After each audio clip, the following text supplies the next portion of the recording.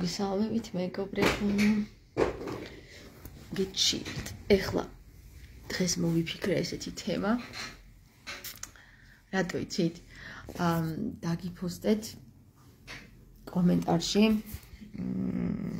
ვიდეო, სადაც აა კიდე ერთი ვიდეო იყო ამგვარი. სადაც ქალი და მამაკაცი არის აუდიტგან, აი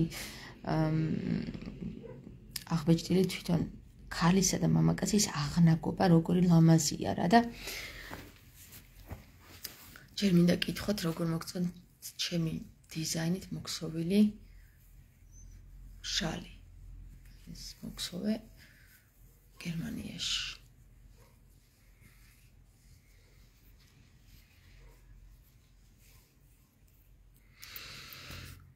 თუ მოგწონთ დავი კომენტარით რომ მოგწონთ ლამაზია ხო მე მომწონს ეს ფერება მოგესალმებით ჩემო მიერთდნენ და მომიცა ცოტა სტიმული რომ ვისაუბრო თორე მარტო ჩემს თავს რო ვესაუბრები ხოლმე ცოტა უცნაურად ჟღერს მეგობრებო. მოდი ვისაუბროთ ამ თემაზე ქალებისა და მამაკაცების შერიგებაზე და მინდა გითხრათ რომ ძალიან დიდი დროის მანძილზე რომელიღაცა პროგრამა აა დაცემული სულის ერთ-ერთი განშტოება მუშაობდა ამ თემაზე რომ ქალები და მამაკაცები ერთმანეთისთვის გადაემტერებინა. და ჩვენ დღემდე გვაქვს ეს მოყოლილი ეს ზუსტად ეს ტრობა ქალებსა და მამაკაცებს შორის ბავშვობაში მახსოვს ერთ ფილმს უყურე. ესეთი ფილმი არის რაღაცა ძალიან საყვარლობა არის. ამაზონა ქალები არიან და მამაკაცები და ერთმანეთს ეჩხუბებიან მოკლედ ხოცა ჟლეტა ჟლეტა აქვს რა და საბოლოო ჯამში ერთ ერთ ერთ თავარ გმირს რომელიც არის მართლა ბელადი შეუყვარდება ქალების ანუ ამაზონების ამურძალების ბელადი ქალი და მოკლედ ეს სიყვარული შეარიგებთ. ერთმანეთს და დამეგობრდებიან და ერთად იქნებიან უკუნთი უკუნთისამდე ხო და? მოკლედ ძალიან საყვარლობა ფილმია ცოტა ძველებური ფილმი არის რაღა მახსოვს სახელიც არ ვიცი ბავშვი ვიყავი რომ უყურე და ძალიან შთამბეჭდავი იყო ეს ფილმი ჩემთვის რა და? ამ დღესაც რომ ვაკვირდები სიტუაციას, რა ეხლაც თუნდაც აი ეხლაც რომ ემანციპაციის თემა რო შემოაგდეს ქალების ემანციპაციის თემა და კაცების უფლებები და ქალების უფლებები და ასე შემდეგ. რა აი ეს რატო ხდება თუ იცით მეგობრებო? იმიტომ რომ ძალიან აი სული ცდილობს რომ ის რაც ხდება დღესდღეობით როცა მამაკაცური და დედრული ენერგიები ერთმანეთს ისევ ერწყმება, ისევ და ისევ თავისი ხრიკებით დააშოროს. და ახლა გერმანიაში არის ესეთი ტენდენცია, რომ ქალები ემანციპ რასაც ეძახიან ემანციპაციას, მცდარი გზით მიყვებიან მაგ ხას, იმიტომ რომ ემანციპაცია არ არის ის რომ მე გავხდე ახლა შემოსავლიანი ქალი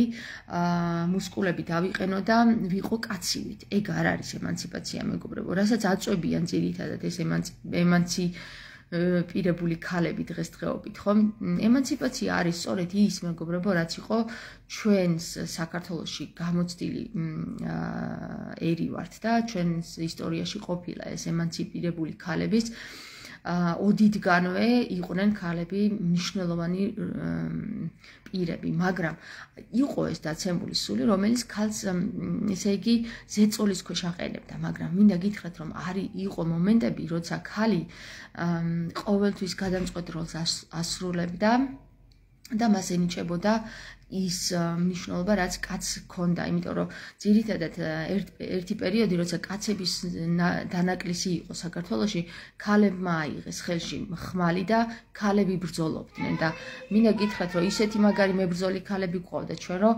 10 ლექს ერთად ერეოდნენ, წარმოიდგინე, ერთი ქალი რომ 10 ლექს ერთად მოერევა, ხო? ეს იყო არის ჩვენ ისტორიაში ესეთები, დაჟე თვით თამარ მეფეც იბრძოდა როგორც მეომარი ერთ-ერთ ომში ბრძოლაში. ბრძოლის ველზე გავიდა თვითონ როგორც ქალი მებრძოლი როგორც აა მეომარი ქალი. ნუ ეხლა ბრძოლის ხელოვნება მე არ მეამაყება ეს მაგალითად რომ ქალებმა აიღონ ხელში ხმალი მაგრამ რასაც ქვია ხმა, ანუ თვითონ ხმა, რასაც ენიჭება, ხო ხმალის აქედან მოდის ძალაუფლების მოყვარული ადამიანები, რომლებიც რომლებმაც შემდეგ ეს მეტალი დაცემული ანგელოზების მიერ განდობილი ეს მეტალის დამუშავება გამოიყენეს სწორედ ძალაუფლებისთვის და დაამუშავეს ხანჯლები და ხმლები ერთმანეთის მოსაკლავად, როცა პრინციპში მეტალი იყო იმისათვის გამოსაყენებელი, რომ აი ესეთი ნივთები დაგემზადებინა, როგორც არის ქვაბი, ტაფა და ასე შემდეგ. მაგრამ რა თქმა უნდა, დაცემული სული ამას იყენებს როგორც იარაღად და ამიტომაც შემდეგ ისჯება ნოას პერიოდში, ნოეს პერიოდში წარღვნის დროს. მაგრამ ეს ჩვენამდე რა თქმა უნდა ეს ინფორმაციები დაფარულია და არ მოგვაწოდეს, თუმცა ეხლა ჩვენ ვსაუბრობთ ქალსა და მამაკაცზე, აი სწორედ ქალების მიერ იქნა ეს დაცემული ანგელოზების ცოდნა გამოტანილი, ანუ ისინი როდესაც დაქორწინეს დაქორწინდნენ ქალების, ანუ ადამიანების ასულებზე, მიაწოდეს, რა თქმა უნდა, მათ ცოლებს ცოდნა დაცემულმა ანგელოზებმა, რა და სწორედ ამ დაცემულმა ანგელოზებმა რის ნიადაგზეც აი ასტროლოგიას შორის ასტროლოგია სალამი თავარ ბარბარობას გილოცავ მადლობა თეა ბარბარობას გილოცავთ მეც ყოველას მართლა დამავიწყდა რომ უმელოცა ეს წეღან ვიძახდით ჩემ გოგოს ბარბარე დავარქვით თავიდან და მე გადავარქვით მარიამი დავარქვით. და მოკლედ ერთი სიტყვით გერმანიაში ბარბარობა დღეს დაიბადა და საქართველოში მარიამობა იყო და ნუ ბარბარის მაგიროთ მარიამი ავიღეთ. ასე რომ ჩემ გოგოს ეს ბარბარე ქვია და თანაც მარიამი მაგრამ აა რატო დამავიწყე ხა თქვენთვის მომელოცად? არ ვიცი. მადლობა თეა რომ შემახსენე. აა ხო, რაზე ვქონდა საუბარი ახლა? ნახეთ, ქალების მიერ იქნა ეს ცნობიერება გამოტანილი თვითონ ამ დაცემული ანგელოზების მიერ. და რა თქმა უნდა, თვითონ ქალი არ არის ბუნებით ისეთი, რომ მებრძოლი მებრძოლის ულის იყოს ისეთი, რომ ვიღაცის მოკლა უნდადეს. ეს არის უფრო წამოსული იქიდან, რომ აი ძალაუფლების მოყვარული მამაკაცებიდან არის წამოსული ეს, რომ ვიღაცის მოკლა აიღოს ხმალი, დაამზადოს ხმალი და შემდეგ მოკლას ვიღაც მეორე პირი, ხო? ან მთელი ჯარი. და საიდან დაიწყო ეს თემა თვითონ? აი ქალებისა და მამაკაცების მტრობა ერთმანეთის მიმართ. გამოსაძიებელია ჯერ კიდევ გამოსაძიებელია მაგრამ მე-12 საუკუნეში მინდა გითხრათ. შეეციოს თქვენ გოგოს და სრულიად სამყარო წმინდა ბარბარეს ძალა და მადლობა მარინა. აა მე-12 საუკუნეში სწორედ ეს თემები განიხილებოდა როცა ქალი იყო ძალიან ზეწოლის ქვეშ მამაკაცის მიერ. ის იყო აბსოლუტურად უბრალო და მას ხმაცა კი არ ამოიღებოდა. ესეთი თემები იყო ზუსტად მე-12 საუკუნეშიც და ამ თემებზე მუშაობდნენ სამეფო კარის საზოგადოება და სხვათა შორის აქ ახლა ესე თვითონ ქართლის ცხოვრებიდან ჩანს რომ დედოფალს ძალიან დიდი ყურადღება ენიჭებოდა და მას ჰქონდა ძალაუფლება იმისა რომ მას გადაეწყვიტა თუნდაც თავისი ასული დაესვა მეფეთ. ასე პირდაპირ ხო წერია რომ დედოფალმა გადაწყვიტა დასვას ასული მისი მეფეთ. რატომ ვაკავშირებ ახლა ამ თემებს მეგობრებო? იმიტომ რომ თამარის დროს, ანუ მე-12 საუკუნეში, როდესაც დაიწერა ვეფხის ტყაოსანი და სწორედ ამ თემებზე არის ეს აგებული ვეფხის ტყაოსანი, სიყვარულსა და სიყვარული კიდე ქალსა და ვაშს შორის ვაშს შორის ხდება, ხო? ისი არ არის რომ ახლა მაგალითად ქალს ქალი შეუყვარდეს და ცხოვრების ბოლომდე უყარდეს. ძალიან იშვიათია ესეთი თემები. ან კაცკაცი შეუყვარდეს და ცხოვრების ბოლომდე უყარდეს. ეს ძირითადად პერიოდებია როცა როცა შენი ჰორმონები თამაშობს და ან კაცი შეგიყვარდება ან ქალი და შენ გონია რომ ეს არის დიდი სიყვარული და ასე შემდეგ. მაგრამ ძირითადად ქალვაჟური სიყვარული რაზეც აიგო ეს ვეფხის ტყაოსანი ქალს რომ დიდი როლი ენიჭებოდა შემდეგ თამარის მეფობის დროს, ამაზე ხო ეჭვი არ გვეპარება ჩვენ და ორი აზრი არ არსებობს, იმიტომ რომ აშკარად ეს იყო დიდი სენსაცია საქართველოში, რომ მოხდა რომ ანუ ტახტზე ავიდა ქალი მეფედ. ხო და როდესაც ამ თემებს განიხილავდნენ სამეფო კარზე, ხო? აი სწორედ ნიკოლოზ გულამბერიძეს ეს ადრეც ვახსენე, იმ დროინდელ ეპისკოპოს თამარის თამარის დროის ეპისკოპოს. უწევდა ძალიან ხშირად ქალის როლის დაცვა. და ქალის როლის დაცვა ხდებოდა ესე რომ იგი ახსენებდა იმას რომ ეს ტყუილა არ მომხდარა ღვთისმშობლის წილხოთ ქვეყანაზე რომ ქალი შემოვიდა წმინდა ნინოს სახით და გააქრისტიანა საქართველოს თუმცა მანამდე ქრისტიანობა უკვე იყო უბრალოდ ნინომ როგორც სახელმწიფო რელიგიად ისე შეძლო რომ მისი ძალით როგორც სახელმწიფო რელიგიად გამოცხადა ქრისტიანობა როგორც გითხარით მანამდე იყო უკვე საქართველოსში ქრისტიანობა შემოსული. აა შემდეგ ყույლა არ არის ის რომ ვთქვათ ეს نيكოლოს გურამბერიძის პოზიციებია როცა იცავდა იგი აი ამ კაცურ პოლიტიკაში ქალს რომ ღვთისმშობლის წილხვედრი ქვეყანა ანუ ღვთისმშობელს რომ საქართველოს საქართველოს ერგო ეს ყույლა და არ არის რომ აი უფლის დედას ერგო ანუ ქრისტეს დედას ერგო ეს და ქალს რომ დიდი როლი გააჩნია საქართველოსში. თვითონ აა ამ პერიოდში უწევდათ, რა თქმა უნდა, იმ პირებს, რომლებიც იყვნენ ქრისტიანული სულისკვეთების, იმიტომ რომ როგორც იცით, მეგობრებო, პირველი ქრისტემ რას გააკეთა, ქალების უფლებების დაცვა დაიწყო და ქალების უფლებები აი იმ პერიოდში, როცა ქრისტე პირველ საუკუნეში შემოვიდა და ნახა, რომ ქალს საერთოდ უფლება არ ჰქონდა არაფრის, თქვენ მის ქადაგებებში ხედავთ, რომ რამხელა დიცულოვნებას იწე დიცულანოს იჩენს ქრისტე ქალების მიმართ, ხომ? ანუ თუ კი მანამდე მეძავს ჩაქოლვა ემუქრებოდა და საშიშროების წინაშე დგებოდა რომ მეძავი ჩაქოლილიყო, თუმცა კაცებიც მეძაობდნენ და მათ არაფერი ვითომ ქრისტემ თქვა რომ რომელსაც რომელიც ამაზე უკეთესია, იმან ჩაქოლოს, ხო? ანუ მიანიშნა ის რომ შენ არაფრით მეტი არ ახარ ქალზე და არც ქალია მეტი შენზე. უბრალოდ ჩვენ ერთმანეთის უფლებები ის პროგრამა რო ჩაგვიდეს, რომ ვითომ კაცი არის ქალზე მეტი, ან ეხლა რო უნდათ რომ ვითომ ქალი არის კაცზე მეტი, ეს არასწორია, მეგობრებო. არც ქალია კაცზე მეტი და არც კაცია ქალზე მეტი. ის ვიდეო რო დაგიფოსტეთ ლინკი აი მან ნახავთ რომ ქალი და კაცი ერთმანეთის გვერდზე გვერდი გვერდ რო დგას.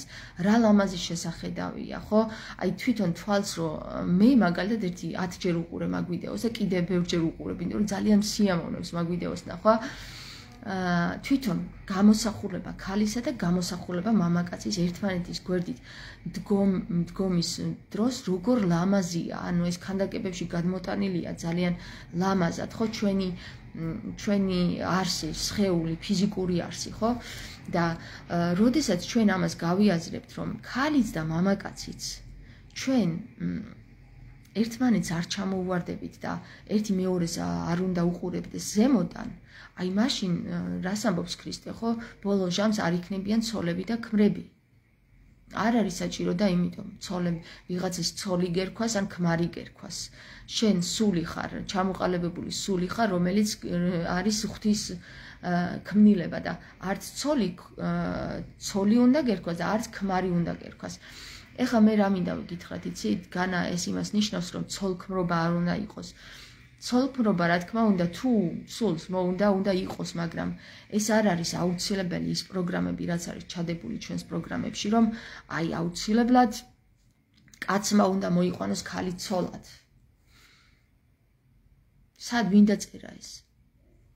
ხო? ქრისტე ამბობს რომ შენ უნდა ანუ შენ როდესაც შენს მეორე ნახევარს გაიჩნ მეორე ნახევარს და არა ცოლს. ხვდებით მეორე ნახევარს სანამ გაიცნობ შენ ნახე იმდენად დაბნეული სულები დადიან ამ ქვეყანაზე და აბნევენ ამ სულებს რომ მეორე ნახევარს სანამ გაიცნობ მაგის დროს არ გაძლევენ იმდენად სულს გიხუთავენ რომ ან მამაკაცებში ეუბნებიან რომ მოიყვანე ცოლი მოიყვანე ცოლი მოიყვანე ცოლი და გაუჭედავენ ამ თავს იმით რომ ამ კაცმა იმის საშუალებას არ აძლევენ რომ კაცმა გადაწყვიტოს თავისი მეორე ნახევარი იხილოს რა. ყველაფერს თავისი დრო აქვს და ყველაფერი თავისი დროზე დროზე ხდება ეხლა მაგალითად ჩემა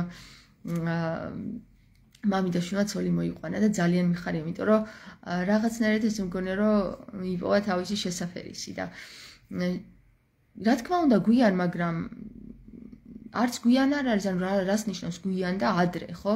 აი ეს ტვინის ბურღვები რო არის რომ აუცილებლად უნდა დაოჯახდე აუცილებლად. ზოგიერთ ადამიანს არ უწევია ახალგაზრდობაში დაოჯახება მეგობრებო. აი მე უფრო სწორად ვესაუბრები ხა მშობლებს ვისაც შვილები ყავს დასაოჯახებელი და ნუ შეუწუხებთ გულს იმ ხალხს ვინც ჯერ კიდევ ეძებს თავის მეორე ნახევარს. ესე იგი ესეთი ტენდენცია არის გერმანიაში გავრცელებული თუ ვაჟიშვილი ხარ ესე იგი ბანძი ხარ. ანუ წარმოიდგინე თუ მამაკაც სურს თავისი ქალწულობის შენახვა, თავისი მეორე ნახევრისთვის საზოგადოებაში საზოგადოება ისეთ სიტუაციას უქმნის, რომ აი ბანძი ხარ. შენ რა არ ყავს ჯერ კიდევ შეყვარებული? აბა რა, ხო, ეგეთი საქართველოსი არ ვიცი როგორ არის. აი მე მაგალითად საქართველოსი უარესი არის საქართველოსი მამებს და ბიძებს მიყავთ მეძავებთან აი ხო როგორ არ ვიცი უბრალოდ არ მინდა ამის გახსენება ა მეძავებთან მიყავთ პირველი ქალი რომელსაც გააცნობენ მამები და ბიძები თავის ვაჟებს არის მეძავი ქალმა კიდე 40 წლამდე უნდა შეინახოს ქალიშვილობა ხო და მე ვერ ხვდები ეს რა რა ტენდენციაა, რა რა ქრისტიანული ტენდენციაა ის, რომ აა შენ თან ეკლესიაში დადიხარ და თან მეძავთან მიყავს ბიჭი. რომ ის არა ქვია ის მარტო არ იყოს და უნანირებას არ ეწეოდეს. ის უკეთესია? ან მეძავთან ყოფნა უკეთესია პირდაპირ უნგრევს ახალგაზრდა ვაჟკაცებს უნგრევს ფსიქოლოგიას და სექსუალურ ფსიქოლოგიას, როდესაც ის მიყავს მეძავთან. ეხლა მეძავთან რო წაიყვან და ის მეძავი გამოცდილი მეძავი იმას აჩვენებს რაღაცეებს, ახალგაზრდა გოგომ, რომელსაც გამოცდილება არ აქვს, იმა როგორ უნდა დააკმაყოფილოს მე ის მეძავთან გამოცდილი ბიჭი, რა თქმა უნდა, სულ იმასთან წავა, ხო? ანუ ესე სულ ზურყუნიან მამაკაცებსაც და ქალებს კიდე აჩმორებენ, რომ არ შეიძლება შენი ბიჭს არ გახედო და ამიტომაც ადგენენ ეს ქალები და აგერ დედას დედმამის ჩუმად რეებს აღარ აკეთებენ, ხო? ანუ ჩვენ ხომ გვირჩევნია რომ გახსნილი საზოგადოება ვიყოთ და ვიყოთ ისეთები რომ არც დედის შეგვეშინდეს და არც მა არც მამის და თუ კი ჩვენ რაღაცა გამოცდილების გავლა გვინდა ეს ხმამაღლად ხმამაღლად ამის თქმის შიში არ კონდეს, ხო? აა ჩვენ ეს პროგრამები რაც გვაქვს ჩადებული, რომ როგორ შეიძლება, აი მე გამიგია ქალებისგან, ჩემ ქმარს შიშველი არ ვუნახი ვარ და ამაყობს ამი. რა გაგიამაყება შიშველი თუ არ ვუნახი ხარ შენს ქმარს, ხო? ეხა 40 წელი ერთად რო იცხოვრებ და შენს ქმარს თუ შიშველი არ უნახი ხარ, აბა წავა ის. მეძავებში არ წავა? ან გაიჩენს საყვარელს, არ გაიჩენს? ანუ ძალიან უცნაური და ამას მოვლა სჭირდება მეგობრებო. ფსიქოლოგები ამაზე იშვიათად საუბრობენ, იმიტომ რომ ეს ერთი ჩემი მეგობარი არის იაროზიში თუ იცით, ის საუბრობს კიდე ამ თემებზე და ძალიან კარგია, რომ ხმამაღლა საუბრობს, იმიტომ რომ აი ეს ცოტა კომპლექსი უნდა მოიხსნას ამ საზოგადოებას, რომ არ იყოს ძალიან ჩაკომპლექსებული. ეს ქრისტიანული არ არის, რომ აი მაგალითად შენ ქმარ შიშველი არ უნახი ხარ. ვინ გითხრა რომ შიშველი არ არ უნდა გნახოს შენმა ქმარმა?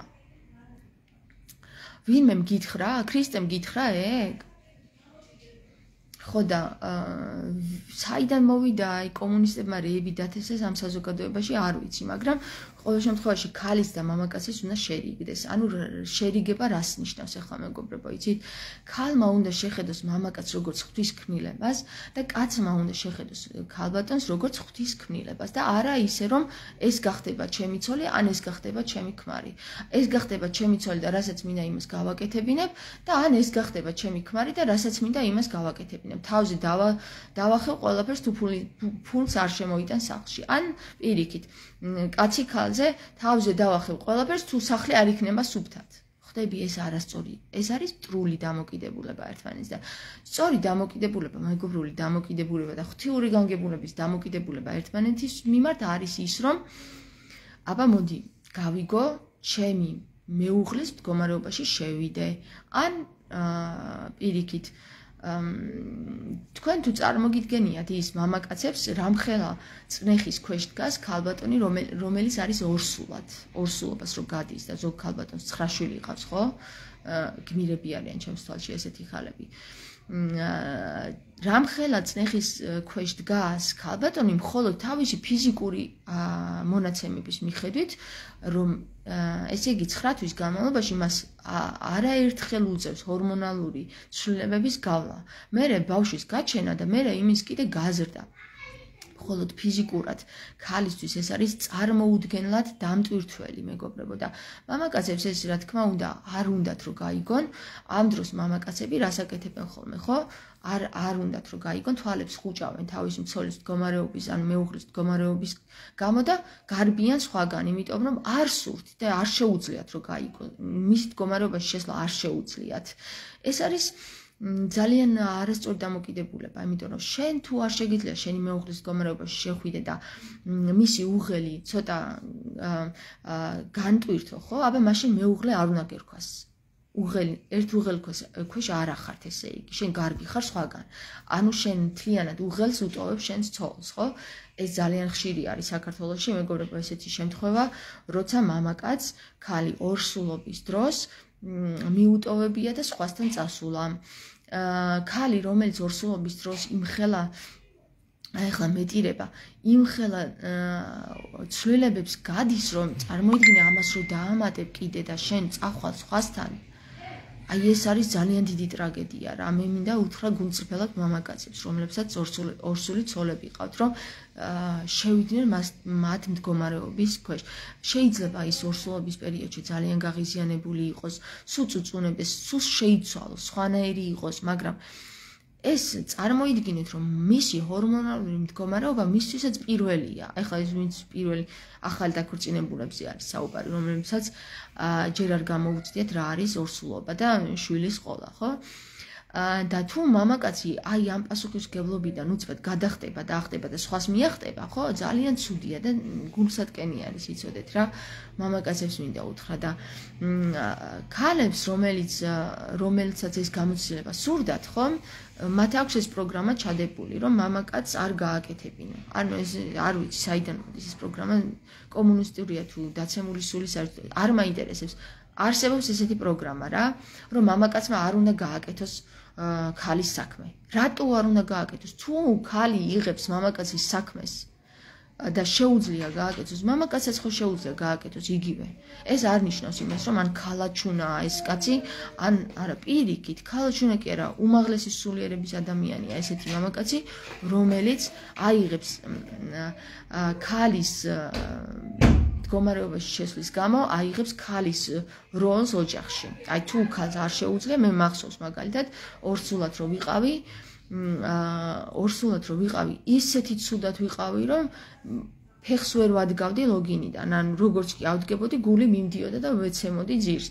და მახსოვს რომ ჩემმა მეუღლემ ესე იგი ჩემი მეუღლე რო არ ყოფილიყო ჩემს გვერდით მე მოვკვდებოდი ალბათ ისეთი ცუდი ორსულობები მქონდა მე და სამივე ორსულობა ძალიან ცუდი მქონდა და ეხლა წარმოიდგინეთ ეხლა ჩემი მეუღლე რო ამდგარიყო და სხვასთან გაქცეულიყო ჯერ ხო მე ისედაც ვკვდებოდი ისეთ ცუდ დღეში ვიყავი და მე რა დამემართებოდა ანუ ან შიმშილით მოვკვდებოდი ან კიდე დარდით მოვკვდებოდი ხო ჩემ მეუღლეს ჩემთვის საჭმელი რო არ გაეკეთებინა, მე მოუკვდებოდი მართლა გეუბნებით და ეხლა წარმოიდგინე ქალებს, რომლებიც აა რომლებიც უბრალოდ ეს პროგრამა აქვს ჩადებული, რომ კაცმა არ უნდა გააკეთოს ქალის საქმე და ამითი უშვებენ მე თავის ქნებს სხვასთან.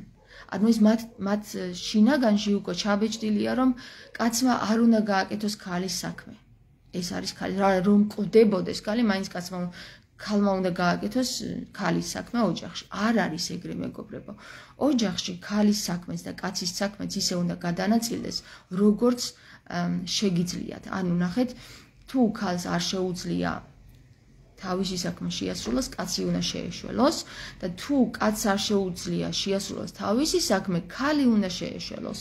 აი მაგალითად ხო არიანი ხა ქალებიც, კაბასაკანებიც, რომ სულს ამოხდიან ხოლმე კაცს, სანამ ფულს არ იშოვის და მე ეს არ ვიცი, ძალიან ბევრი ოჯახია ესეთი, რომ სწორედ იმის გამო რომ ქალი სახლში არ აყენებს ამ კაცს იმის გამო რომ ფული უნდა შემოიტანოს, ძალიან ცუდ საქმეზე მიდიან ხოლმე რა და არც ეს არის მართებული მეგობრებო რა, ქალმა სული არ უნდა ამოხადოს კაცს. წარმოიდგინე ეს არის დესტრუქციული ურთიერთქმედება. შენ თუ შენს მეუღლეს ძალა არ მიეცი იმისთვის რომ სწორი გზა ნახოს ფულის გამომუშავების, ხო, მატერი მატერიალური კეთილდღეობის შექმნისა, ხო? მაშინ კაცი ვერასდროს ვერ მიხვდება, სწორ გზაზე ვერ დადგება და შენ თუ შენ ცოლს კიდე არ დაეხმარე ორსულობის დროს მით უმეტეს?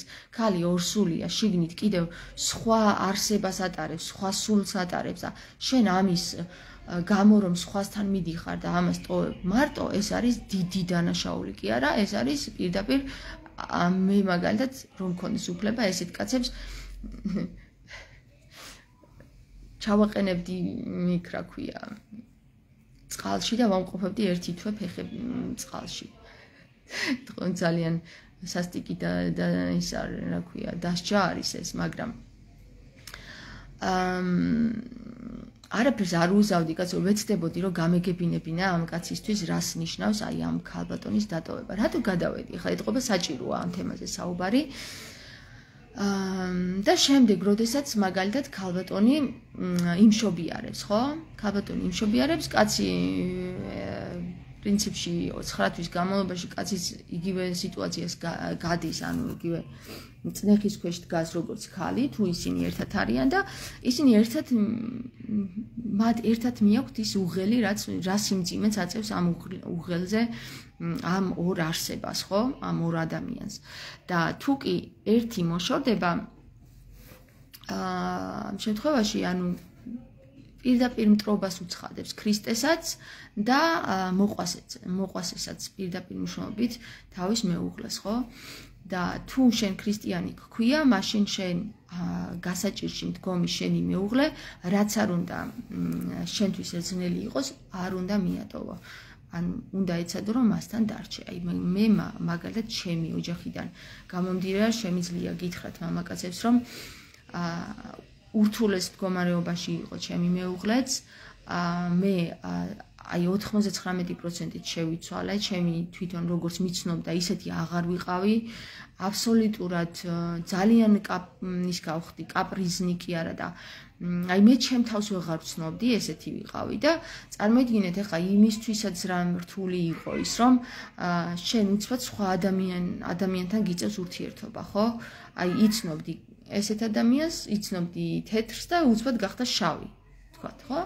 ამ შემთხვევაში რასაკეთებ აგდებ ამ სიტუაციასთან მიდიხარ არა ხო ცდილობ რომ რაღაცნაირად გაიგო რა პროცესია ეს და სხვათა შორის ამაზე საუბარი რატო არის მნიშვნელოვანი იცით ამაზე შეიძლება ცხვენიათ ადამიანებს საუბარი და პირადის გარეთ გამოტანა, მაგრამ როდესაც ერთი ოჯახი იგებს მეორეს ამბავს, რა თქმა უნდა, ეს შველის მათ, ანუ ისინი სხვა გადაწყვეტილებებს იღებენ, რა თქმა უნდა, ერთი წუთი და ეს წვიმს.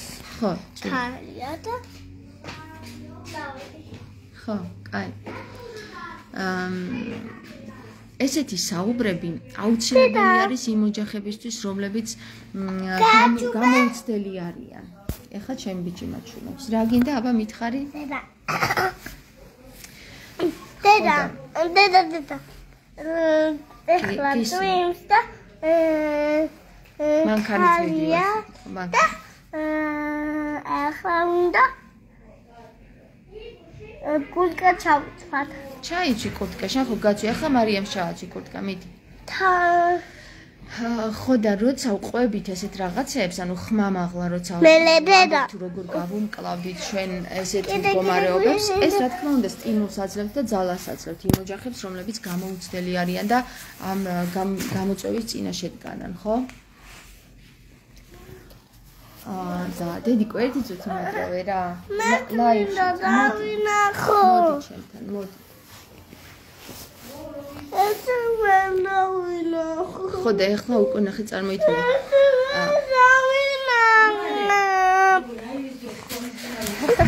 ძიო, ეხლა წავედინეთ. გაიყვანე რა ძალიან. რა გითხრა? იცი რა გითხრა? დედა რო ლაივში ლაპარაკობს. აი ბავშვო ხო ეხლა შემდეგი გამოწვევა ბავშვები ოჯახი და ბავშვები ეხლა წარმოიდგინეთ მეგობრებო რა ბავშვები არიან სულ სხვა პიროვნებები რომლებიც შემოდიან შენს სივრცეში, ხო? როდესაც შენ სივრცეში შემოდიან, აქ შენი მეუღლე და შენ შენი მეუღლისა და შენი სივრცე უკვე იზღუდება თავისთავად, ხო? რა თქმა უნდა, ეხლა გააჩნია არიან წყვილები, რომლებმაც გამისნულად აირჩიეს ის გზა, რომ არ გააჩინონ ბავშვები და ეს თავიანთი კეთილი ნება არის, მაგრამ წყვილები რომლებმაც გააჩინეს ბავშვები, მათთვის არის ძალიან დიდი გამოწვევა ეს ოჯახური ურთიერთობა. და მით უმეტეს ქალისთვის არის ძალიან დიდი გამოწვევა, იმიტომ რომ ბავშვები უფრო მეტად დამოკიდებული არიან დედაზე ვიდრე მამაზე. ამიტომ მამაკაცი ზოგჯერ ესე პროგრამა აქვს ჩადებული საქართველოსში მამაკაც რომ შენ ოჯახიდან წახვიდე იმუშაო გარეთ შემოიტანო ფული და ოჯახში არაფერი ბავშვებს არ უნდა მიაქციო ყურადღება ცალკე უნდა იდგე როგორც ცალკე მამაკაცი რა ისეთი რომ აი мама მოვიდა სახში. მე ვახსოვს, мама ჩემი რომ მოვიდოდა ხოლმე, აი ესე გოგონა რომ უცხო კაცი იყო, ანუ რაღაცნაირი ისეთი შეგრძნება მქონდა, რომ ღამ დილით მიდიოდა, ღამით მოდიოდა და მოიტანდა ხოლმე შოკოლადს თქვა. გვიხაროდა ბავშვებს. დანარჩენი ესე როგორც მამის ურთიერთობა ბავშვებისადმი ნაკლებად იყო, იმიტომ რომ სულ მუშაობდა ახლა, ხო? თქვა მამაკაცი რომელიც სულ გასულია სახლიდან, ბავშვისთვის არის უცხო ის, როგორც мама. და ეხლა უკვე დედებიც ეგრე არიან და ძიძების დიან ბავშვებს და ეს ძალიან დიდი ტრამვა არის ბავშვებისთვის სხვათა შორის. ხო და აი როგორ გითხრათ რა, მამაკაცისა და ქალის როლი უნდა იყოს გაწონასწორებული, გათანაბრებული და როგორც ქალი, ისე მამაკაცი როგორც ოჯახის შიგნით, ისე ოჯახის გარეთ უნდა აკეთებდეს საქმეს. ესე არ უნდა იყოს, რომ მამაკაცი მხოლოდ გარეთ იყოს და შემოქონდეს ფული და ქალი იყოს სახლში და ბავშვებს უვლიდეს. თუმცა ახლა დღეს დღესდღეობით ეს უკვე ისწავლა ახალგაზრდობამ და იმას აკეთებს, თქვათ. ეხლა რადიკალური ცვლილება არის ისეთი, რომ ახალგაზრდებს ურჩევნიათ გაიოლონ საქმე, და თუ კი რამე პირველივე შეფერხება მოუვათ პარტნიორებთან, მაშინვე გაშორდნენ და სხვა მოძებნონ.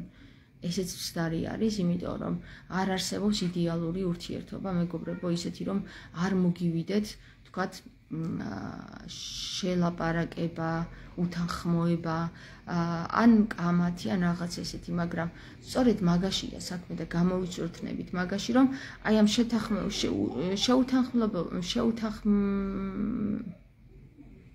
უთანხმოების ნიადაგზე შეთანხმების უნარი გამოვიმუშაოთ. ხვდებით? ხანდახან გონი ახლა ჩემი საუბარი რაში გჭირდება თქვენ თქო, მაგრამ მაგრამ რო გჭირდებათ, ანუ ბევრ გჭირდება მაგალითად ბევრი ძალიან, აი მე მაგალითად ჭირდებოდა აა ის სიტუაცია, რაც რაც გავიარე, თქვა ხო, თავიდან რომ მე თვითონაც ვეღარ ცნობდი ჩემ თავს, სხვაც უკვე არ როგორ იყო იცი, აი აა თუ გზნობა გაქვს მანამდე ქალს, ხო? მე ორსულობის პერიოდში ეს ჰორმონალური ცვლილებები ისე იცვლება, რომ გრძნობის უნარი აღარ გაქვს უკვე რა. ზოგიერთ ქალთან ახლა ჩემთან ეგრე იყო, ბევრთან ეგრე არის. ზოგს ჩეულებრივად, ჩეულებრივ ორსულობა აქვს და არაფერი ისეთი რთული, რომ აი ერთი ათბორს გააჩენს უპრობლემოდ, მაგრამ აი მე მაგალითად მახსოვს, რომ ჩემს ჩემი გრძნობა გრძნობელობა ჩემი თავის მიმართ აღარ მქონდა. და ჩემი თავის მიმართ თუ აღარ მქონდა ესე იგი სხვის მიმართაც აღარ მქონდა ხო?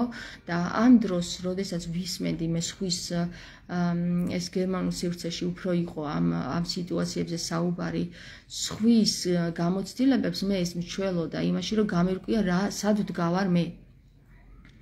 ამიტომ ვცდილობ რომ ეს საუბარი ხა ჩემი საუბარი დაეხმარება იმ ადამიანებს, ვინც ეძებს ამ გზას, რომ იპოვოს გამოსავალი, ხო? აი მაგალითად არსებობენ წყვილები, მე მომისმენია ზუსტად მაგ პერიოდში, როცა მე უსმენდი ამ წყვილების ურთიერთობას, არსებობენ წყვილები, როცა ისე კარგად არიან ერთმანეთში, რომ როცა ქალი ორსულად არის და მუცელი ებერება, კაციც კაციც ორსულად არის და მუცელი ებერება. ანუ გან ბავშვი ყავს შიგნი, არამედ მასაც ის სიმპტომები ეწყება, რაც ქალს. იმიტომ რომ ის იმდენად უთანაგრძნობს იმ იმ ქალს. არსებობს ესეთი ძალიან გამოკვლეულია სხვათა შორის, რომ არსებობს ესეთი ფენომენი. რომ კაციც იმ სიმპტომებს გადის, რაც ქალი მისი მეუღლე, ან მისი თანამგზავრი ქალი გადის იმ პერიოდში, როცა ისინი ერთად არიან და მე როდესაც ქალი გააჩენს შვილს და უპატარავდება ეს მუცელი, კაცსაც უპატარავდება ეს მუცელი, ჩვენ შემთხვევაში ესე იყო მართლა ოღონდ. ანუ მე რომ მუცელი გამებერა, ჩემს მეუღლესაც მუცელი გაებერა. ეხლა რომ აღარ მაქვს მუცელი, არ ჩემს მეუღლეს არ აქვს და მომყვება ესე თითქოს რაღაცნაირად ერთნაირად მივდივართ რა და ვერ გეტყვით, რომ სულ მწვანეზე დავდივართ, მაგრამ არის ძალიან ესეთი მნიშვნელოვანი მომენტები, მეგობრებო, რომ როცა ადამიანმა ერთმანეთს უნდა გაუგოს. ანუ არ არსებობს ისეთი გზა, რომ შენ გაიქცე ანუ შენს ვალდებულებებს ვერ გაიქცევი, ვერსად რა. თუ გაიქცევი, ორ ორჯერ უფრო დაგიმციმდება გზა. ანუ ხდები ეს ჩემი გამოცდილების ნიადაგზე გეუბნებით. თუ რაიმე პრობლემას გაიქცევი, სადაც მიხვალ იქ ორჯერ უფრო დიდი პრობლემა დაგხვდება. მე ისეთი აუტანელი ორსული ვიყავი, ქმარი კი არა, მთელი ოჯახი ორსულად იყო. დია არ გამიკვირდება მთელი ოჯახი მთელი ოჯახი ხო არის ესეთი შემთხვევებიც რომ ყველას მოედება ხოლმე შენი შენი ეს განწყობა. აა ხო შეიძლება ეჭვიანი გახდეს ქალი ან ძალიან ბევრი რაღაცები ამოიყრება უცბად ამ დროს რა აი ორსულობის პერიოდში ჰორმონალური ცვლილებები ქალს იმდენად ცვლის და იმდენად როგორც როგორც კოქტეილს ისიაკეთებს რა, ანუ აჩანჩყარებს, რომ პირდაპირ სულ სხვა პიროვნებად ჩამოყალიბდება მე და ანუ სხვა პიროვნება იჩითება, ანუ იმიტომ ვამბობ რა, ქალი რომელსაც შვილი არ გაუჩენია, მან არ იცის ჯერ რა არის ქალის არსი. და ეს აუცილებლად უნდა მოხდეს ქალის ცხოვრებაში, რომ შვილი შვილს რო გააჩენს, მე ხვდება რას ნიშნავს საერთოდ ადამიანი. მე ეგრე მივხვდი. ადამიანის ფასი მაშინ გავიცანი, როცა შვილი გავაჩინე. და ჩემი მეუღლე მაგალითად იყო არაჩვეულებრივი პარტნიორი და მეუღლე, იმიტომ რომ აი ისე მაგრად დამიდგა გვერდში, რომ ესე არავინ არ დაუდგება. აი მტერს არ დაუდგება კაცი. მტერს კი არა რაშუაში იყო მტერი. იმიტომ რომ მე იმ პერიოდში ისეთი გავხდი, რომ მტერივით ვიყავი იმ ადამიანისთვის რა. აი ძალიან ცუდი ხასიათების გავხდი და რა თქმა უნდა მე რეიცლება ეს ხასიათები ისე, როდესაც ჰორმონები თავის წყობაში დგება და რაღაც. მაგრამ ამ მაგრამ ეს შეგნება ხო უნდა კონდეს მამაკაც და ეს შეგნება რომ მამაკაც კონდეს დედებო გაფრთხილებთ გაზარდეთ თქვენი შვილები განსაკუთრებით ბიჭი შვილები ლოიალები ქალების მიმართ. იმიტომ რომ შენ თუ შენ შვილს ასწავლე სამზარეულო შენი საქმე არ არის და გასწიე გვერდზე ის არასდროს აღარ მოკიდებს და აღარ შევა იმ სამზარეულოში შეეზიზღება ის სამზარეულო და ეგონება რომ მარტო ქალის საქმეა ჩემი ბიჭები, ორივე ბიჭი დგას ხოლმე და როცა ვაკეთებ საჭმელს მეხმარება და მეც ვცდილობ ხოლმე რომ არ გამოვიდე წყობრიდან, იმიტომ რომ ხან დასვრიან, ხან რაღაცას გააკეთებენ ისეც რომ ჭკუაზე არ არიან ხოლმე, მაგრამ მე ვცდილობ რომ ისინი არ შევაძლო მათ საჭმლის გაკეთება. იმიტომ რომ ადამიანს უნდა შეეძლო საჭმლის გაკეთება. აი ხა მოდი მონასტრებში გაიხედეთ, ვინები აკეთებენ საჭმელს. მამაოები თუ ვინმე ყავთ ვიღაცა რომელიც საჭმელს უკეთებს დედაო? არა თვითონ აკეთებენ ხო მამაოები ანუ ჩემა ძმამ სანამ მონასტერში არ წავიდა საჭმლის გაკეთება რომ შეიძლება საჭმელი გაეკეთებინა მამაკაც ვერ წარმოედგინა. ანუ ვერ წარმოიდგენდა მაგრამ ეხლა მონასტერშია და მშვენივრად აკეთებს ხოლმე როცა ტრაპეზის დრო უწევს. ანუ თვითონ სატრაპეზოში რო არის და აა რა ვიცი ანუ რა ჩვენ ქალების ბრალია ყველაფერი, როცა მამაკაცებს ესეთაც უზრდით, რომ აა ქალმა უნდა გააკეთოს ყველაფერი. ქალმა და თუ დაკვირვები ხართ საქართველოში ქალების უმეტესობას წერები ამოსდის. ეხლა არ გაგიკვირდება თქვენ, მაგრამ რატო ხდება ესე იცით? იმიტომ რომ ქალისაც და კაცის როლიც ქალს აქვს აღებული და მამაკაცები ძირითადად არიან აა დაზიანებული იმ ხრივ, რომ გაიზარდნენ ისე რომ მამაკაცს არ ესაქმება სახში არაფერი. გადი გარეთ. გადი კუხნიდან, გადი სამზარეულოდან. ხდები? სადმე წავიდეს ტელევიზორს უყუროს? და ესე რომ გაზდი შვილს თავის ცოლთან როგორ უნდა გახდეს სხვანაირი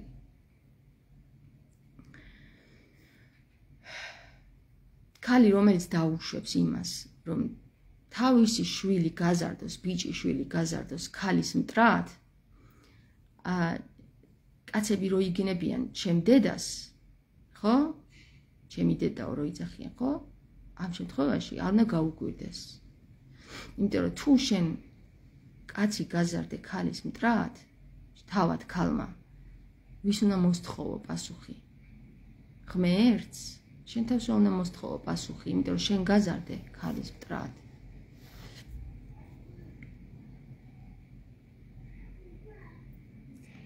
რა ვიცი თქვენ რას ფიქრობთ ამ ეხლა შეიძლება ზოგმა იფიქროს ძალიან ძალიან ის ვარ რა ქვია გაევროპელებული და რაღაც ლიბერალ ლიბერალისტურ თემებს ვაწვევი, მაგრამ რაც უნდა ის იფიქროს რა.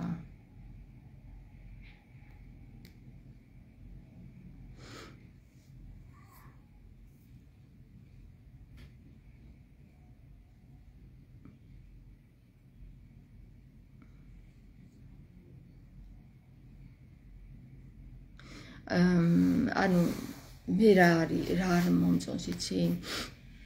საქართველოში თუ ვინმე რამე საუბრობს ხო? თითქოს ყველა ფულზე ყიდის თავის თავს რა. აი ესე თავისუფალ თემად როგორც მე ვსაუბრობ არავინ არ საუბრობს დროს არ ხარჯავს. იმიტომ რომ თუ ვინმე რამე სიტყვის გააკეთებს სემინარს და იმაში აიღებს თანხას ხვდები და ესე არ გამოვა რა ესე ვერ განვითარდებით მეგობრებო. ანუ ჩვენ თუ არ ვისწავლეთ ერთმანეთის გვერდში დგომა აა რაღაცა თანხების აღების გარეშე ხო?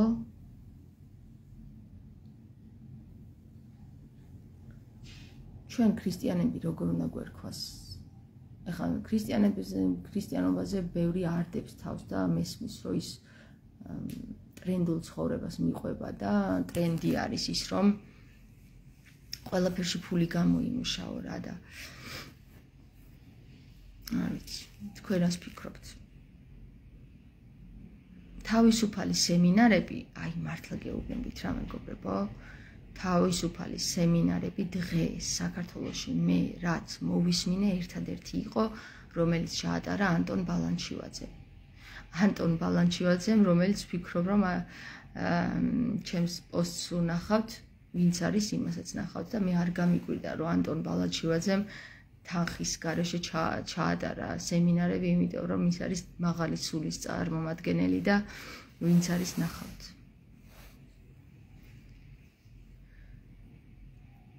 იცნობთ ანტონ ბალანჩივაძეს? არაჩვეულებრივი ადამიანია. მან 6 ლექცია მიიწვნა.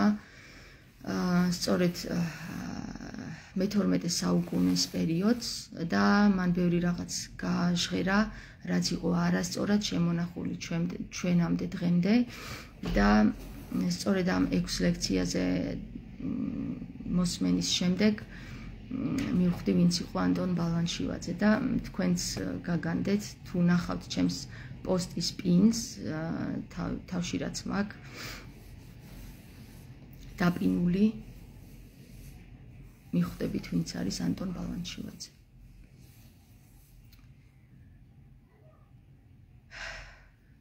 მაგრამ რა თქინდა მეგობრებო? ანტონ ბალანჩივაძემ უფასოდ ჩაატარა 6 ლექცია 2 საათიანი და ძალიან ცოტა ხალხი იყო მოსული. იცით რატომ იმიტომ რომ თანხა არ მოითხოვა ამ ადამიანს და ვის ვინც თანხას არ ითხოვს საზოგადოებას გონია რომ ეს არის რაღაცა არ არის რა მაგარი ტიპი. ხლები აი როგორ შეიცვალა ყველაფერი? თუ დაადებდა კაცი 100 ლარს მაშინ მოვიდოდა და გაივსებოდა დარბაზი მაგრამ ყველაფერი შეცვლილია ყველაფერი. თქვენ მითხარით რამე რა ეხლა მე რო გელაპარაკებით ხოლმე მინდა რომ თქვენიდანაც გავიგო რამე მაგალითად ტყუპსულებზეც ვისაუბრებ, მეგობრებო, ტყუპსულებზე რატომ არ ვსაუბრობ, იცი? არ მოსულა ჯერ მაგისტრო. ჯერ ჩვენ დუალურ სულში ვართ საქართველოსშიც და ყველგან დუალური სულის პროცესში ვართ და ეს არის მნიშვნელოვანი. ტყუპის სულები იქნება გადახტომა, ანუ რაღაცას გადაახტე და არ იქნება იქ სწორი.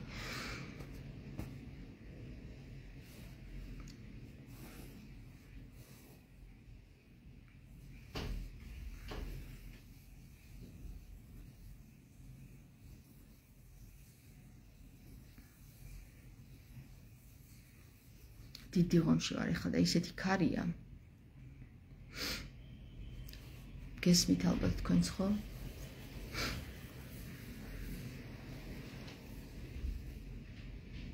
ანუ უნდა შევრიგდეთ რა, ქალებიც და მამაკაცებიც. მეგობრული ურთიერთობა უნდა დავიჭიროთ ერთმანეთთან. იმის არ იყოს მაგდალინელი თუ იცით ეს ახალი სერიალი არის Chosen, The Chosen, გე ქრისტეზე არის სერიალი, რომელიც გადაიღო ამერიკულმა კომპანიამ რა და იქ არის ერთი დიალოგი, ძალიან მომეწონა რა. არა, არა, არა, მურევ ახლა.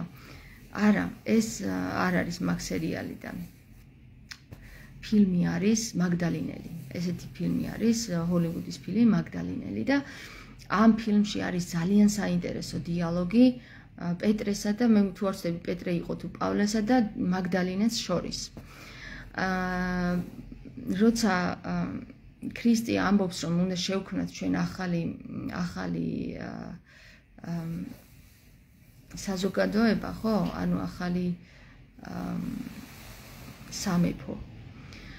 აა პეტრე პეტრეს გონია, რომ პეტრია თუ სიმონი, ანუ სულ ერთია რა, ერთ-ერთი მოწაფე კაცი, ბიჭი, რომელიც აი გონია, რომ ეხა ახალი სამეფო ნიშნავს იმას, რომ ქრისტე დადგება მეფეთ, თვითონ იქნებიან ამ ქრისტეს შემწეები და მოკლედ ერთი სიტყვით ხმალს ამოიღებენ და დააჭრიან თავს ყველას რა და მაგდალინელი ძანდროს ახლა ისინი ხო მოწაფეები არიან და ისეთი კარგად არის ის აღწერილი და ისეთი პირდაპირ ისი არის აღწერილი, რომ აი გადაჭარბებულად კი არა, აი დოკუმენტურად არის რა თითქოს გადმოცემული ეს ფილმი, რომ მაგდალინელი უყურებს ახლა ამ პეტრეს და პეტრე პეტრია თუ სიმონი რომელიც არის ამბობს რომ აი ჩვენ ამას გავაკეთებთ იმას ვიბძოლებთ აქ იმას გავაკეთებ და მაგდალინე ეტყვის ამ ტიპს რა რომ მე არ მეგონაო რომ ქრისტე ჩვენ მოგვიწოდებდა ომისკენო რა. ხო და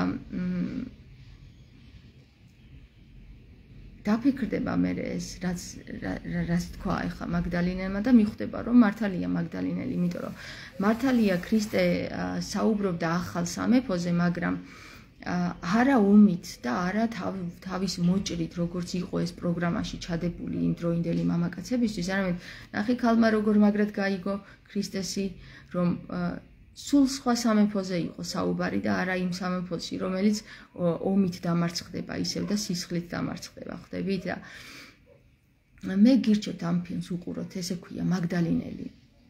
მარია მაგდალენა ესე ქვია ინგლისურად მოძებნეთ და იქნება ამოგიგდოთ ძალიან მაგრად არის გაკეთებული ეს ფილმი, გადაღებულია უმაღლეს დონეზე. აი მე მართლა როგორც რეჟისორი შოკირებული დავში ისე კარგად არის თვითონ გადმოცემული ეს სიტუაცია, ის სხვა პერსპექტივით და სხვა რაკურსით არის დანახებული ქრისტე.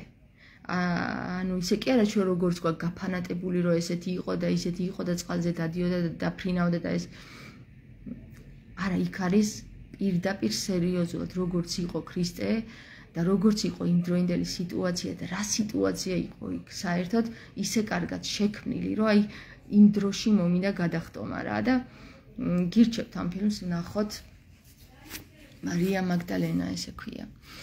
გერმანულად უყურე მე და შეიძლება გერმანული ვინც იცით გერმანულ ენაზე ამოგიგდოთ და ნახოთ. თვითონ ეს სერიალის The Chosen-ს კარგი არის ძალიან მომეწონა. ეხლა ველოდები მესამეს როდის გამოვა და მიხარია. ხო, ნუ რა არის იცი? და აი ქრისტე მოიტანა ეს ცნობიერება, რომ მამაკაციც და ქალიც არიან მეგობრები. უნდა იყვნენ მეგობრები. ნახეთ, როგორი სულისკვეთება იყო მაშინაც კი, რომ აა თომა რომ ამბობს, რომ ქალს ვალაპარაკოთო? ქალი ქალი როგორ ვალაპარაკოთო? ან მაგდალინელი ხო იხილავს ქრისტეს, რომ აღდგაო ქრისტე და რომ მივა და პეტრეს არ უნდა რომ არ უნდა რომ აღიაროს, რომ მაგდალინელი გახდა ის პიროვნება, რომელსაც დაენახა პირველი ქრისტე. ხვდები და ვინც პირველი იყო იქ, იმას დაენახა, აბა პეტრე რო სადღაც ტრაქში იყო, უკაცრავად იქ სად დაენახებოდა ვინ საფლავთან იდგა იმას დაენახა ხო მაინც შური რა არის ხო თვითონ იქ მოწაფეებშიც როგორ შური იგრძნობა?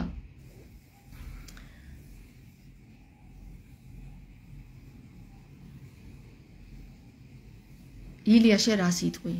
ქალებს როგორ უნდა მოექცეთ?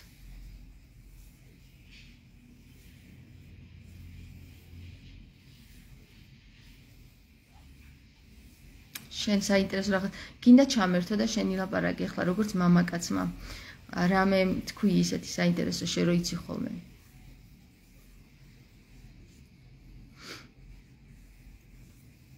ცოტა გაგრძელდება ეს ლაიფი. როგორც სული წმინდას. აი კაცი გაიხარე მადლობა. და ასევე ჩვენ როგორც სული წმინდას უნდა მოვექცეთ ქალები მამაკაცებს. ხო ეგრეა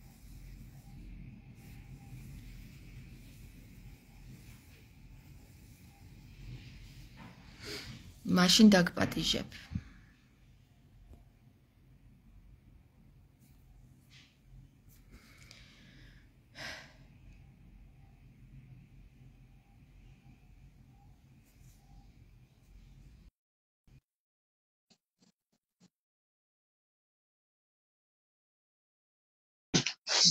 ხმა ისმის კი. ოპა, უშ, მოგესალმებით. შენ გვიან შემოგვიერთდი, ხო? კი, ამ წუთას შემოგვიერთდით. რატო არ ჩანო არ? ჩანხარ აქ, ეხლა ჩანხარ ჩვენთან. ჩემთან ჩანხარ.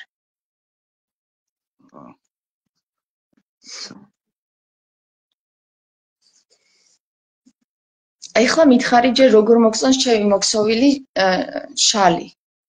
რატო გამომერთე?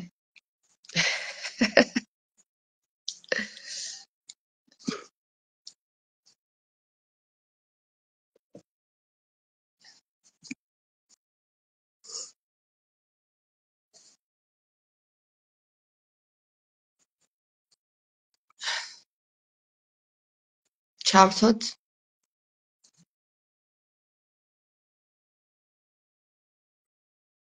აა შენს აღარ გამატებს ახლა. უხ Facebook-ო რას გიზავ? ილია მიკრძალავს შენთან საუბარს. იცის რომ საინტერესო თემებზე ვისაუბრებთ. როგორც ლევანთან მიკრძალავს ხოლმე საუბარს ისე შენთან მიკრძალავს საუბარს. მოკლედ ეს Facebook-ი არის ჩამოსახრჩობი. მაინც აქ რო ვართ არაუშავს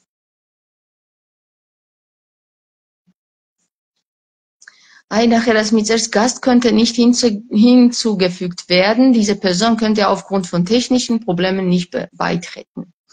ესე იგი, ტექნიკური პრობლემების გამო ვერ დაგამატებ ილია ესე მეუბნება Facebook-ი. ცუც გაუბრაზდები ახლა Facebook-ს.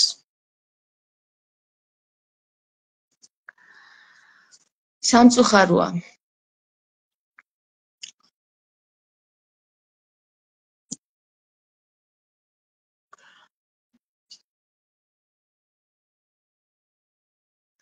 სამწუხაროა ილია.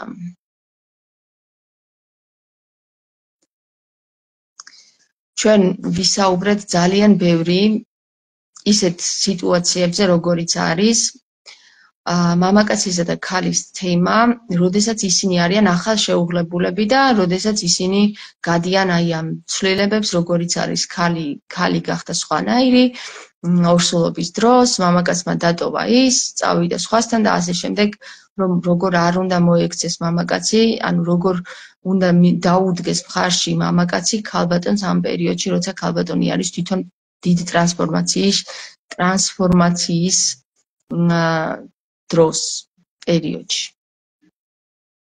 ანუ ალბათ ჩვენს გეცოდინება შენი მეუღლე, როცა იყო ორსულად, აბსოლუტურად სხვანაირი გახდა ვიდრე შენ მას მანამდე იცნობდი, ხო? და ამ დროს როგორ უნდა მოიქცეს მამაკაცი ქალთან მიმართებაში, ანუ თავის მეუღლესთან მიმართებაში. საქართველოში ძირითადად კაცები მირბიან ხოლმე ამ პრობლემის წინაშე რო დგანან, მირბიან სხვასთან და თავის თავის თავის საშველს პოულობენ სხვა ქალში, მაგალითად. და ტოვებენ თავის მეუღლეს ისე გასაჭირში რა.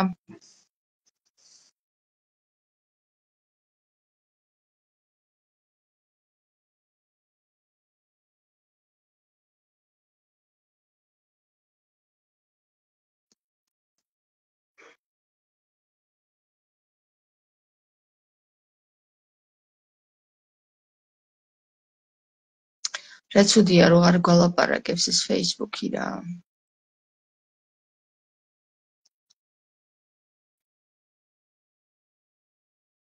წარმოგიდგენიათ რეებს გვიშვება ეს Facebook-ი? აი ხა რა უნდა ჩვეულებრივად ვსაუბრობთ, მაგრამ მაგან იცის ამ თემებზე რომ ვსაუბრობთ ხოლმე და არ უნდა რომ რაღაც სინათლე გამოვიდეს ეთქობა რა. ეხა ნებისმიერი სხვა რო დავამატო დამამატებინებს.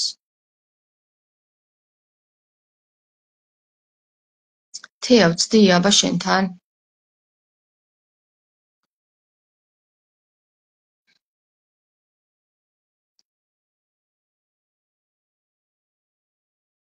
კარგი მოდი ესე ვქნათ.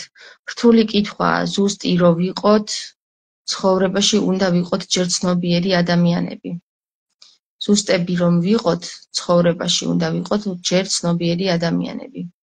ხო, მართალი ხარ. არა, სხვასაც არ მომატებინებს თია.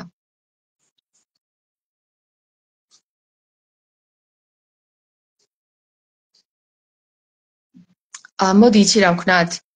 აა მე ეხლა გავთიშავ და ილია შევთანხმდეთ მე და შენ როცა გეცლება და ამ თემაზე ვისაუბროთ კიდე დამატებით სხვა დროს. და ვისაც გინდათ შემოგვიერთდით. იმედია რომ ჩაგვართვევინებს მე Facebook-ი და გვალაპარაკებს. თუნდაც საღამოს. კაი ეგრე ვთქვათ. დღეს საღამოს მეგობრებო, შემოვალთ ლაივში მე და ილია და თქვენ შემოგვიერთდით ვისაუბროთ თემებზე ახალი სოციალური ქსელი გავაკეთოთ. მეც შევთავაზე გიდია. საზოგადოებას. კარგი აზრია. წავედი ახლა მაშინ და ვისაუბროთ სხვა დროს საღამოს ილიასთან ერთად და თქვენთან ერთად ამ თემაზე. გავაგზავნოთ საუბარი. დრო, მოდი ესე ვთქვათ. აა 9 საათი? თუ გვიანია თქვენთვის. დღეს საღამოს 9 საათზე გეცლებათ?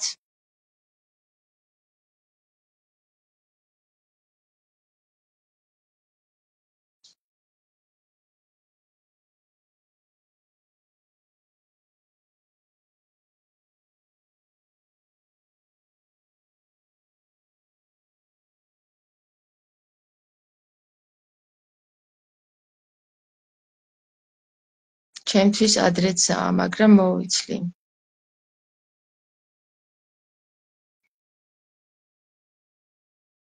კაი, ესე ვთქვათ, 9-ის მერე